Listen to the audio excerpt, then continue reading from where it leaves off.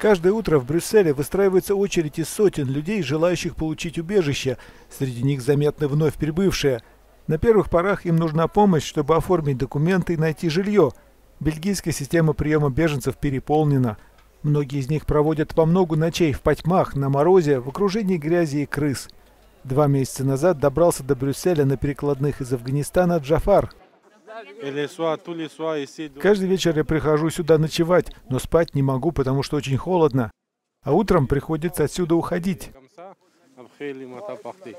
Дверь приемной миграционной службы открывается в 8.45 утра. Первыми пропускают внутрь несовершеннолетних без сопровождения взрослых и семьи с детьми.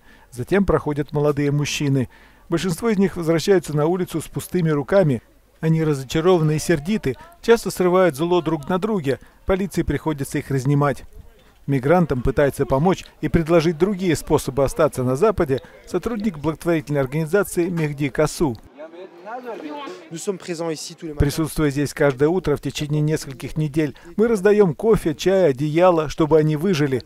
Мы помогаем получить медицинскую помощь тем, кто уже подвергся переохлаждению.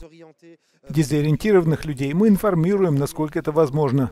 В последние месяцы стало не хватать мест в гостиницах и приютах из-за того, что в столице пришлось расселять некоторых бельгийцев, пострадавших от наводнений, а в последние дни стало прибывать больше нелегальных мигрантов издалека. Их распределяют по государственным и частным квартирам сотрудники Федерального агентства по приему беженцев Изабель Плюма. На этой неделе откроется 300 мест, хотя это слишком мало и на всех не хватит. Ситуация становится критической. Нужно изыскать резервы жилья, не имеет значения какого, лишь бы у людей была кровать и возможность где-то поспать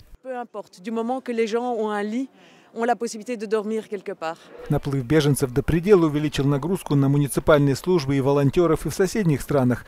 Среди разных учреждений Евросоюза остаются разногласия о том, как действовать в этой ситуации. В четверг для обсуждения этого вопроса соберутся министры внутренних дел ЕС, но единого ответа на зимнее обострение миграционного кризиса их ведомства еще не подготовили.